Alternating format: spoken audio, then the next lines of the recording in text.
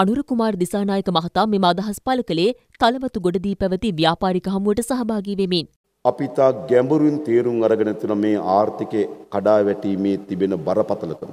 ඒ නිසා ෂණික එකවර ඇති කරන විශාල කම්පනයක් මේ ආර්ථිකට ඔරොත්තු දෙන්නේ නැහැ. එනිසා ජාතික ජන බලවේග ලෙස අපි ආර්ථිකය ඇති කරන කුඩා සියුම් වෙනසක් පවා ඉතා හොඳින් කල්පනා කරලා කරලා ඒක කවරාකාරයේ ප්‍රතිවිපාක ගෙනත් දෙයිද කියලා මැනලා තමයි අපි කටයුතු කරන්නේ. අපි දන්නවා ජාත්‍යන්තර මූල්‍ය අරමුදලත් එක්ක තියෙන මේ වැඩසටහන අපේ සමස්ත ජාත්‍යන්තර සබඳතා ගනු ඒවක් සියල්ල ජාත්‍යන්තර මූල්‍ය අරමුදල කියන බාස්කට් එක ඇතුළේ ඉන්නේ. දීපාර්ශවීය ණය ගනුදෙනු ජාත්‍යන්තර මූල්‍ය අරමුදල බාස්කට් එකේ ඉන්නේ. බහුපාර්ශවීය ණය ගනුදෙනු ජාත්‍යන්තර මූල්‍ය අරමුදල කියන බාස්කට් එකේ. ඒ වගේම ISB හරහා අපි මුදල් එක් රැස් කරගන්න ඕන ජාත්‍යන්තර මූල්‍ය අරමුදල කියන බාස්කට් එකේ තිබේ. කියන්නේ සමස්ත අනාගත වැඩසටහනම ජාත්‍යන්තර මූල්‍ය අරමුදලත් එක්ක එකට ගැට ගහලා තියෙනවා. මේ වෙලාවේ කවුරු හරි ඒක පාර්ශවීයව එම වැඩසටහනෙන් ඉවත් වීම සඳහා කල්පනා කරනවා නම් එය පුරවැසියා පිළිබඳ හෝ රට පිළිබඳව වගවීම අත්හැරීම.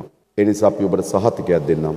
අපි ඒක පාර්ශවීය කිසිසේත්ම ජාත්‍යන්තර මූල්‍ය අරමුදලින් ඉවත් වීමට බලාපොරොත්තු වෙන්නේ නැහැ. ඒත් අපිට ජාත්‍යන්තර මූල්‍ය අරමුදලින් සකස් කොට තිබෙන පරාමිතීන් ප්‍රමාණය අපි විසින් සම්පූර්ණ කළ යුතුයි.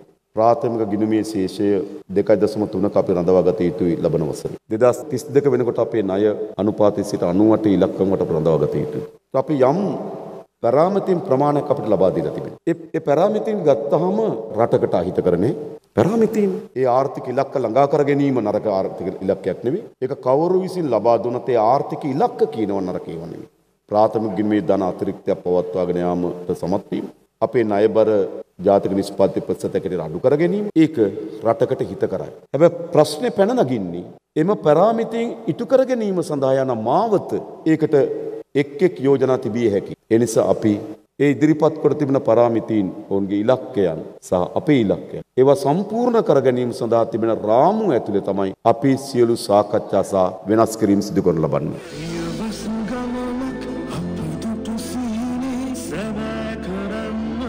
මේ අතර ජාතික ජනබලවේගේ සංවිධාන කරන රට අනුරට ජනරලි මාලාවේ තවත් ජනරලියක් දිවුලපිටියේදී පැවැත්වුණා. ඒ ජනාධිපති අපේක්ෂක පාර්ලිමේන්තු මන්ත්‍රී අනුර කුමාර දිසානායක මහතා ඇතුළු තවත් කිහිප දෙනෙකු එහිදී අදහස් දැක්වුවා.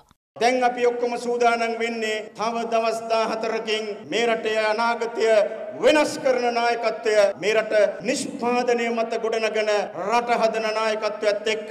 ඒ වෙනුවෙන් එකතු වෙච්ච මහා ජන පවුරක් තියෙනවා. ඒ වෙනුවෙන් එකතු වෙච්ච මහා වෘත්තිකයන් මහා පවුරක් එකතු වෙලා තියෙනවා. විශ්වාසයි 21 වෙනිදා අනුර දිසානායක සහෝදරයා වැඩිම ප්‍රතිශතයකින් මේ මුළු රටේම නවවෙනි ජනාධිපතිවරයා බවට පත් වෙනවා. ඒක ඔලුගෙඩි මාරුවක් නෙමෙයි. ඒක හුදු ආණ්ඩු මාරුවක් නෙමෙයි. ජනාධිපති ඡන්දයේ සිට පාර්ලිමේන්තුව දක්වා ඒ කාලේ මොකද කරන්නේ? ඒ කාලය විවස්ථාවට අනුව ඒ කාලය තුල ආණ්ඩුවක් තියෙනවා. අපි කිසිසේත්ම ව්‍යවස්ථාව කඩන්නේ නෑ. අපිට පුළුවන් ඕනනම් සියලු විෂයන් ජනාධිපතිවරයා වෙත පවරගෙන ආණ්ඩුව ගෙනියන්න මාසිකාමාරකට ව්‍යවස්ථාවට පක්ෂපාත. ඕනනම් අපිට පුළුවන් ජාතික ජන බලවේගයේ මගේ හිස් වුණාම ඒ മന്ത്രി ධූරය පත් කරලා හතර දිනකින් කැබිනට් මණ්ඩලයක් හදාගෙන ඒ මාසිකාමාර යන්න. එහෙම නැත්නම් අපිට පුළුවන් තව කාට හරි කියලා මාසිකාමාරට බාරකාර ආණ්ඩුවක් හදලා ඒක යටතේ ඡන්දෙ තියන්න. ඒ නිසා කවුරුවත් බය වෙන්න එපා. ඒ කාලය ඇතුළත විවස්ථානුකූලව මේ රට මෙහෙවනවා ජාතික ජනබලවේගය විසින්. දෙක ඊළඟ අපි පාර්ලිමේන්තුව විසිරුවා හරිනවා. විසිරන්න ඕන නැද්ද? ඕන. ඒ නිසා මොකද්ද මේ තියෙන්නේ? මේ තියෙන්නේ විකෘති වූ පාර්ලිමේන්තුවක්. ඒ නිසා ජනතාවගේ ජනමතයට අනුරූපී පාර්ලිමේන්තුවක් හදන්න ජනාධිපතිවරයා විසින් ලැබෙන බලතල අනුව පාර්ලිමේන්තුව විසිරුවා හරිනවා.